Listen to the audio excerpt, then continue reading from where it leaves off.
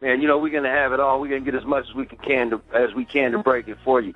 Hey, y'all, that last time uh, before I got into those two songs, we was talking about Lil Wayne, and uh, it had, it was something brought to my attention, something that was said to me in it, and I actually to. Uh, I'm gonna put it out there. If anybody's listening wants to call in, comment, or you know, shoot me an email if you catch it on the on the replay. Shoot me an email or comment right on the show page. But uh, what was said was that um, T.I.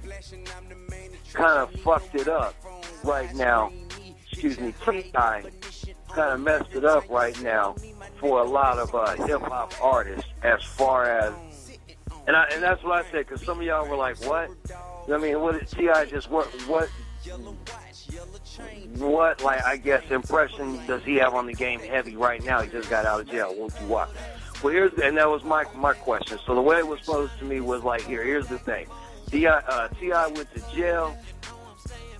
You know what I'm saying? He got busted at the at the you know it was at an awards benefit trying to buy the guns. There was some federal cases. He got locked up. They were going, to you know, they was going to give him some years. Remember, they was going to stretch him. There was not going to be no more T.I., basically. You know what I mean?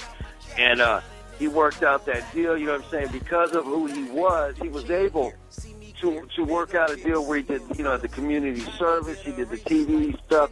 He did a lot of stuff, and I I ain't knocking him and saying that he got a because of his status he got a flush deal. What I'm saying is he was able to use that. Hopefully there were people that benefited. I know some of them kids during that look like, you know what I'm saying, they, they benefit off that. You know what I mean? The road to redemption. So I'm happy for that. And I'm not criticizing him for what he did. What I'm saying is that because he got out of jail and, you know, he did all that stuff and in the limelight and in the powers that be, and I don't need to say nothing, but in the in the folks and in the eyes folks that run and control the major networks, the major radio stations, the major uh, uh, networks, uh, the legal systems. You know, more importantly, you know, they kind of like said, "Oh, okay." You know, they put T.I. up there, and it was kind of like, okay. Not only was he put on the scale, but so was all of rappers, not hip hop, rappers. And those y'all that know the difference know what I mean. You know what I mean? Especially if you fit into a certain category of rapper. That's why when when uh, Lil Wayne touched down in Miami, why the DEA ran up on him. You know what I mean?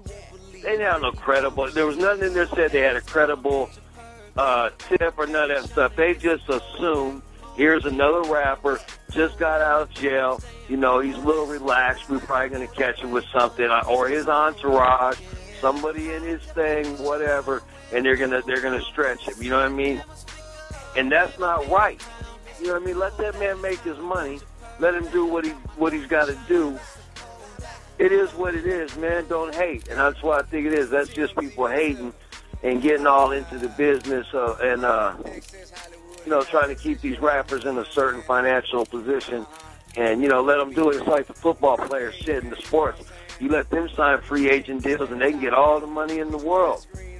Fuck it you know, let these rappers get it. If they can get it, let them get it. Because I get, I put it to you like this: if the rapper and these independent labels and these artists and you know cats that are that are really bringing out these hip hop artists and paying them more than what these majors used to pay them, if they don't get that money, somebody's still going to get that money from the music business.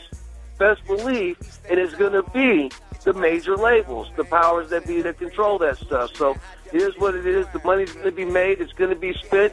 Somebody's going to get paid. It might as well be the artist. And people should let them do their job and make this money without being under a microscope. If somebody fucks up,